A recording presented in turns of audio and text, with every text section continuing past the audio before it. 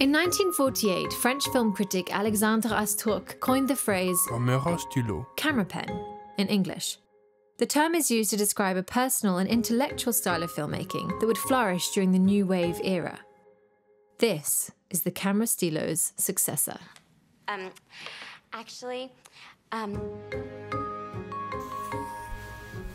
Rough winds do shake the darling buds of May, but thy eternal summer shall not fade. Bat, did you write that? That's like a famous quote. From where? Cliff's Notes. Oh. Half a century after Astruc, Cher Horowitz held a pen to her face as her voiceover mused that Searching for a boy in high school is as useless as searching for meaning in a Pauly Shore movie. then she intentionally dropped the fuzzy pen to get a cute boy's attention.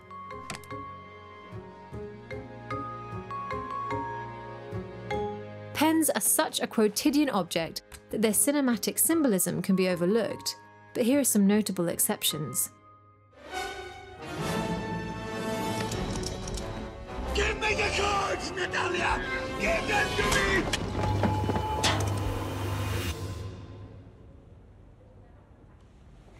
Were you expecting an exploding pen? We don't really go in for that.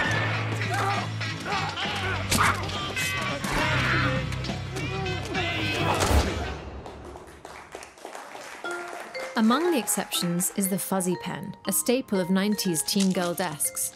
It's an unsung hero, and unquestionably one of the most iconic stylos in cinema. Elle Wood. Sorry, Alexandra.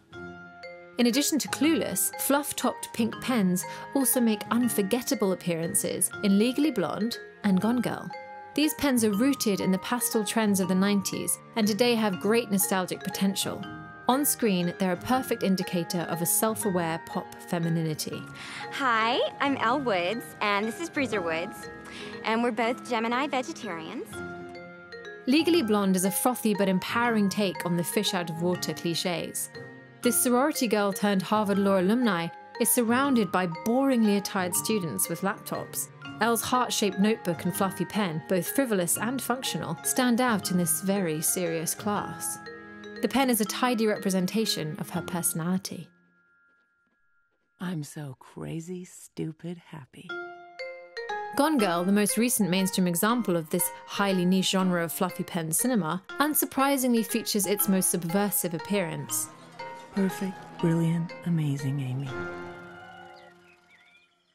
Amy Dunne writes down her thoughts with one of these fluffy pens, I'm so crazy, stupid, happy. But her diary is fabricated, part of her toolbox to sell a false narrative about her husband. What did you do to your pregnant wife?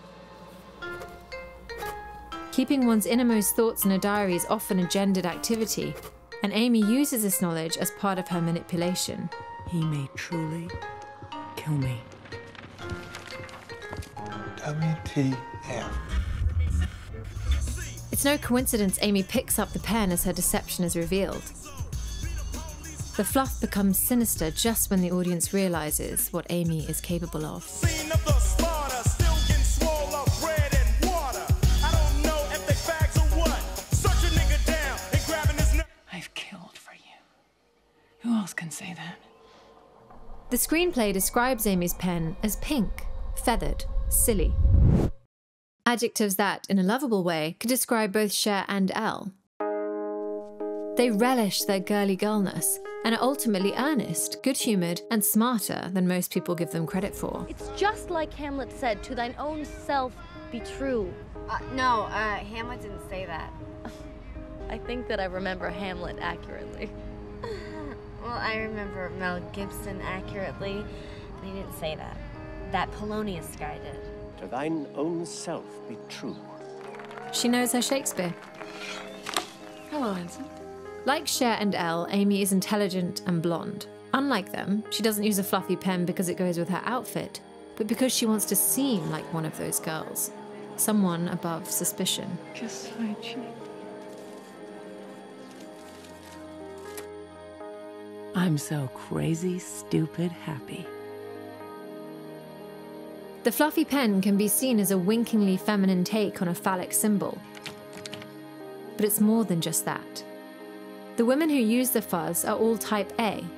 Cher, Elle, and Amy are all determined to get what they want. And a fuzz top stylo is a small but noticeable way of announcing oneself. What's a standard pen in comparison? If there's one universal truth about the fluffy pen, it's this women on screen never use them by accident. All this. This is a rare samurai pen. A gift from Emperor Hirohito. Unbreakable. Impervious to everything but water. Its value is beyond estimation. That's fascinating. Hmm, But I'm sure you didn't pay me this visit to hear a lecture on fine art, Lieutenant. I'm investigating the attempted murder of one of your dock workers.